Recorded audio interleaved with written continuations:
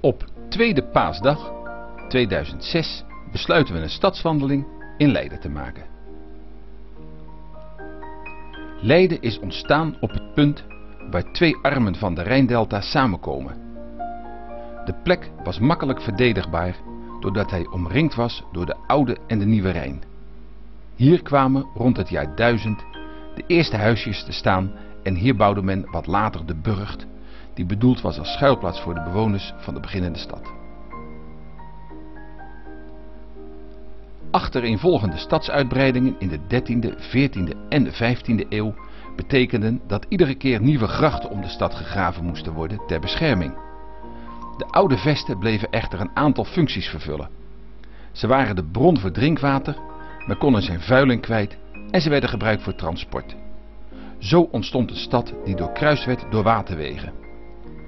De huidige vorm van de historische binnenstad van Leiden wordt bepaald door de singels. Deze cirkel van water rond de stad was de laatste keer dat een complete beschermende gracht rond de stad werd gelegd. Vanaf de 17e eeuw hield men op ieder nieuw stadsdeel te beschermen met een gracht.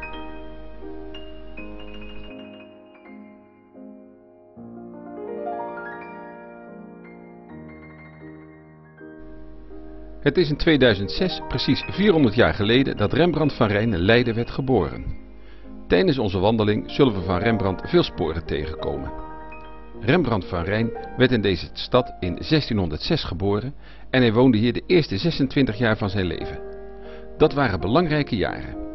Hij leerde op school de klassieken kennen. Hij besloot schilder te worden en ging daarvoor in de leer. Eerst in Leiden, later in Amsterdam. Eenmaal volleerd vestigde hij zich in Leiden als zelfstandig schilder. In zijn Leidse atelier is menig meesterwerk ontstaan.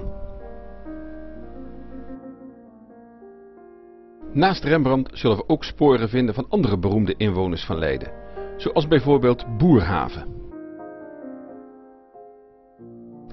We starten onze wandeling bij het Centraal Station, een hypermodern gebouw in een moderne omgeving.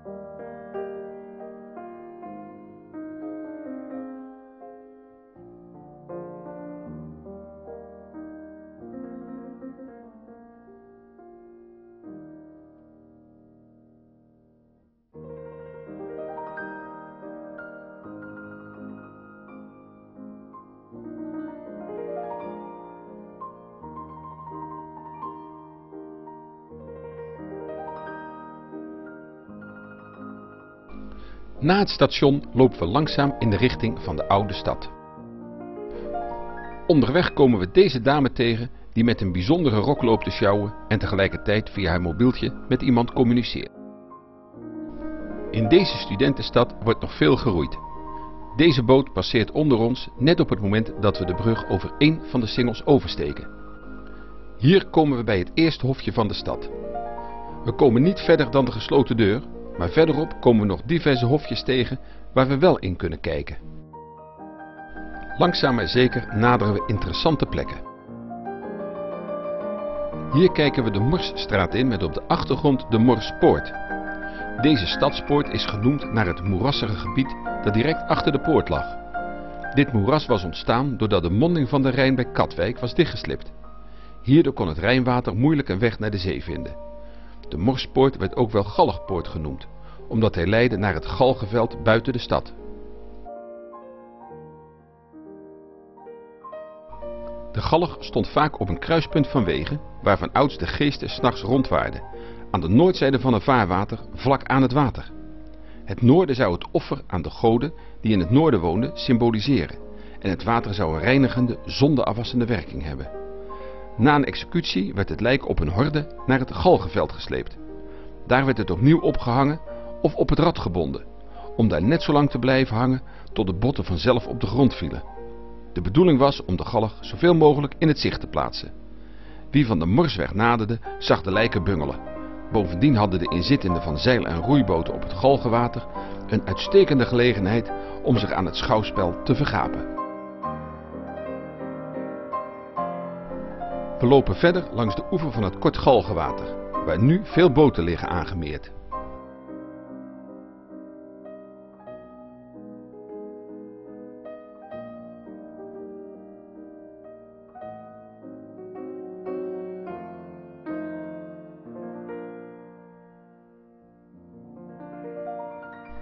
Deze noordelijke oever van de Rijn werd pas in het begin van de 17e eeuw bebouwd. Het ging de stad voor de wind en de bevolking groeide gestaag. Na het ontzet van Leiden in 1574 telde de stad 10.000 inwoners. In 1600 waren dat er al 24.000. Leiden was de grootste stad na Amsterdam en was overvol. Het stadsbestuur besloot daarom tot een uitbreiding aan de noordzijde van de stad en begon in 1612 met de bouw van een stadstimmerwerf en stadssteenhouwerij. Binnenplaats van de stadstimmerwerf is een oase van verstilde rust.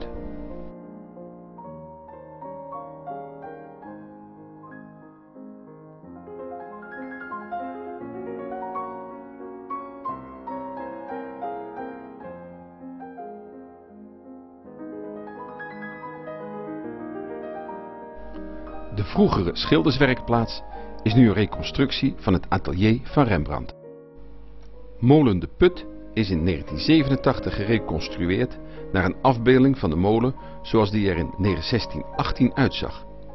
In 1619 kregen vader en zoon Jan Janszoon Put toestemming om hun molen van de oostkant van de stad naar hier te verplaatsen. Dit is een ideale plaats voor een molen die het vooral moet hebben van de overheersende westenwind. Via de Rembrandtbrug steken we het Galgenwater over en komen bij de geboorteplaats van Rembrandt van Rijn. In het begin van de 20e eeuw werd het geboortehuis van Rembrandt afgebroken ten behoeve van de uitbreiding van een drukkerij. Het enige dat nog verwijst naar Rembrandt is deze in 1906 ingemetselde gevelsteen.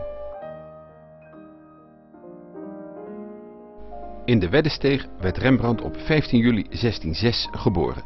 Hij woonde er tot 1631. Ook zijn grootvader en tante en oudtante en later ook zijn broer en zus hadden hier een huis. Rembrandts vader bezat diverse panden in deze buurt, maar het is niet bekend welke hij zelf bewoonde of hoe het eruit zag. Aan de westzijde van de Weddesteeg, bij het water, stond in die tijd een zware muur achter de eigenlijke stadsmuur. De ruimte tussen beide muren was gevuld met aarde en bovenop deze wal stonden twee molens. Eén hiervan was korte tijd van Rembrandts grootmoeder.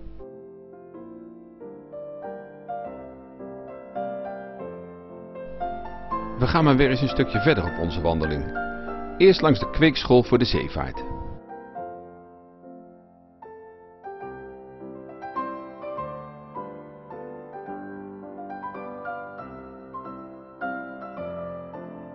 In een park zien we een boom die de fantasie weet te prikkelen.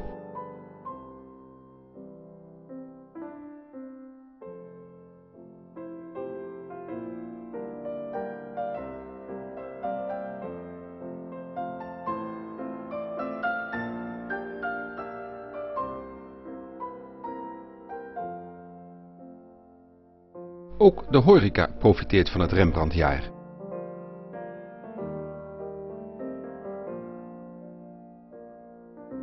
De grachten van Leiden zijn een stuk rustiger dan die van Amsterdam. De Doelenpoort uit 1645 gaf toegang tot het doelenterrein, waar de stedelijke schutterij oefende.